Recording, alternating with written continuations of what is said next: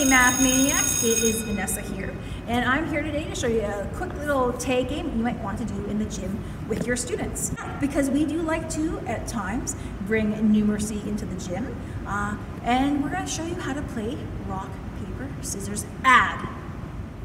All right, so this game is just like rock, paper, scissors, tag, but we will explain it in case you're not familiar with how to do that game. So what happens is in this game, it's an everybody is it game. So they have to run around, and of course, with it being COVID, we have different ways where kids need to tag, where they're either doing an elbow tag, or they're just getting really close to the person, pointing and then calling their name. So uh, we know that you'll figure out how to get them to tag, but once they are tagged, they do a round of rock, paper, scissors. So in the normal version, they would just do a round of rock, paper, scissors, shoot and see who wins or who loses. Uh, the loser would then crouch down and have to stay down until the person who got them out loses a round and then they're back up and in the game. So how we're gonna play this and make it a math game is instead of playing rock, paper, scissors, shoot, we're gonna do rock, paper, scissors, add. So how this game works is they we start off with usually with them just doing sums to 10. So they have one hand and they can choose to put out either between one or five fingers. So we say put your hand behind your back and with your partner say rock, paper, scissors, add. When you say add, you um, pull out how many fingers you have.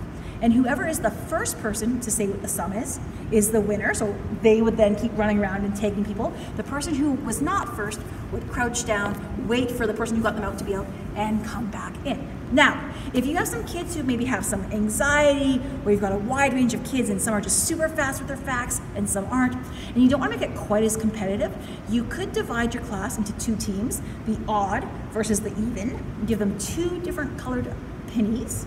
And for example, you might have the red pennies be odd, the green pennies be even, and what would happen is the same thing where they'd have behind their back their fingers. They'd say rock, paper, scissors, add.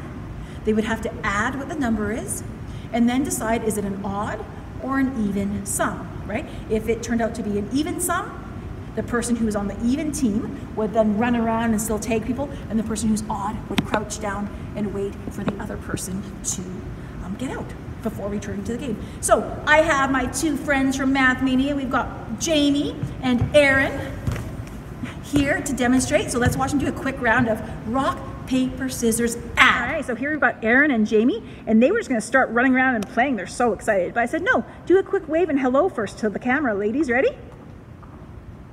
All right, so we're gonna start. Remember, this is an everybody's it game, so either Aaron can take Jamie or Jamie can take Aaron. Ready, set, play. See here, Jamie's ready to play. She's showing what number she's gonna pull out behind her back for when she says the word add after rock, paper, scissors, add. Paper, scissors, add. so Jamie is down. Stay down. Rock, paper, scissors, add. Six. So now that Aaron is down, Jamie gets to stand back up. She's back in the game. Okay, so we're just going to quickly demonstrate how the odd versus even version would work. So we've got here, Jamie is yellow. We're going to say that yellow team is even numbers for this round. And Aaron is green, so she's odd numbers. Now, what that means is that just refers to what the sum is. Jamie can still decide to put out an odd number if she wants. Aaron can put out an even number. That doesn't matter. It's no longer about how fast the children uh, say what the sums are, but it's more about is it an even number or an odd number in terms of who is victorious. Okay. All right, so let's see how these ladies are going to play. So they're going to do the same thing. We're going to take each other and do rock, paper, scissors, add.